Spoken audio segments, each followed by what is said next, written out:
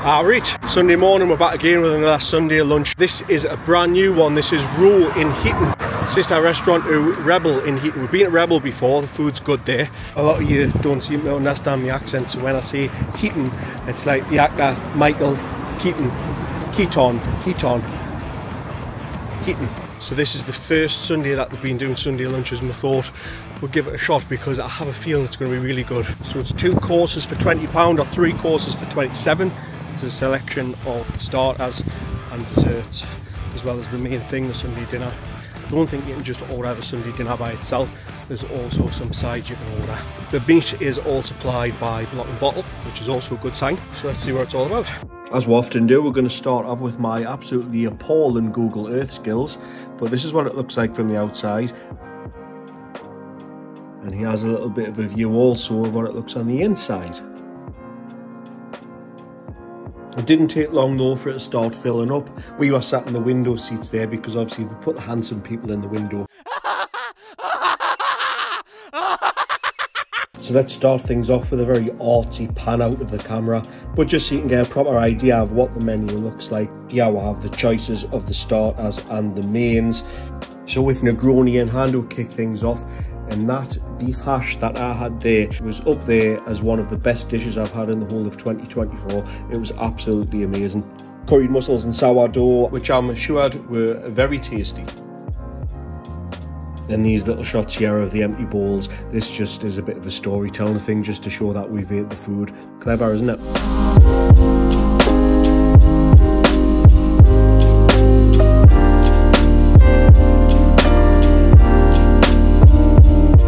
Now this is Tuesday's pork belly and that is not a euphemism. We also got a side of the cauliflower cheese and I had the salt aged sirloin. Now the plates do look a little bit sparse there's not a great deal on them and I think that may be where they might get you a little bit so it's two courses for 20 pound which is unbelievable value and the dinner was sufficient it did fill up with the starters as well but I think um, but I think if you want a, a really really good feed you'd probably have to buy a couple of the extra sides we were tempted to get the Hispi cabbage as well as well as the cauliflower cheese but we're just stuck with only one side just to try and keep the cost down because we thought with the drinks it was going to be quite expensive as well anyway. I mean to be fair you did get two roasties which are well cooked, a nice slab of carrot, a bit of the old uh, mashed potato or pomme purée, a little bit of cabbage, really nice home cooked traditional Yorkshire pudding on top of the meat. You know what? The food was unbelievable value and unbelievably well cooked. The amount of times that we go for meals where something is very simple as as the chef not tasting things and not putting enough salt on things. It's just it happens so often. But this was all perfectly seasoned, really well cooked. Every single element of it was absolutely bang on. And that's what made this such a good Sunday dinner. So onto the bill, and this guy here, this is Mr. Bill Peer. So the bill came and yeah, as expected, £20 each, but when you add the extras on, your drinks came to 75.